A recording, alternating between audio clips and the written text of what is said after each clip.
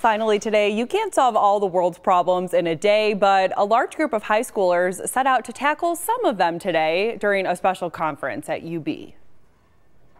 This lecture hall at UB's North Campus looked more like the floor of the United Nations this morning. Today we're here for our Model UN UB conference where we're representing the United States as um, delegates. And we're basically just trying to amend resolutions. We're trying to create new resolutions. We're trying to um, basically uh, win. More than 800 students from 40 local schools were selected to play representatives from 73 countries.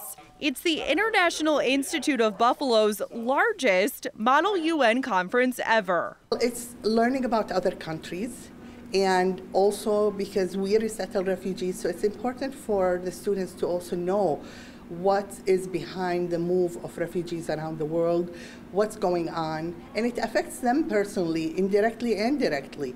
For the students, it's a time to debate and discuss real world issues that matter to them.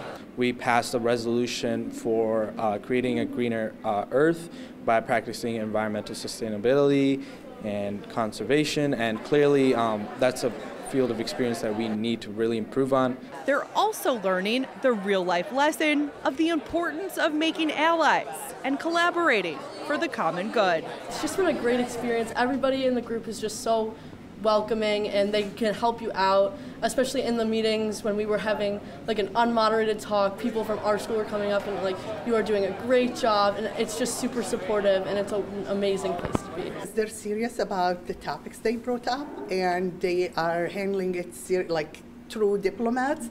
So those are the future leaders. And if they continue like that, then I guess we're, we're in good hands.